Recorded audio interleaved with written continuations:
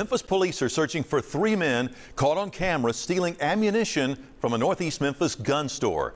They walked away with bullets, but maybe lucky they weren't riddled with bullets. WREG's Bria Jones has more.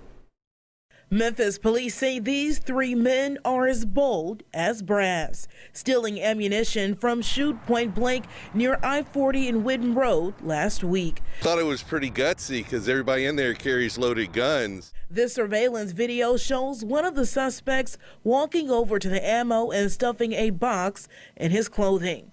Police say the suspect stole several boxes of 9mm ammunition, hiding them in their pants and hoodies.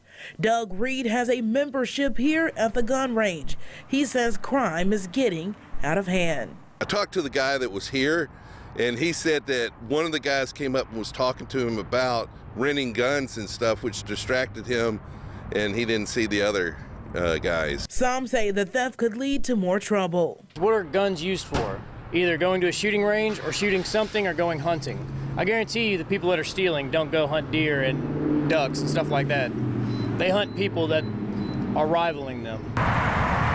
Investigators say the thieves left in a dark colored Infiniti SUV with temporary tags. I thought that was pretty wild, and I've noticed now that they've got a sign up saying no ski mask on and hood's got to be down. In Northeast Memphis, Bria Jones, WREG News, Channel 3. Now, at this point, police say they have not made any arrest. If you know anything about this crime, you're asked to call Crime Stoppers at 901 528 CASH.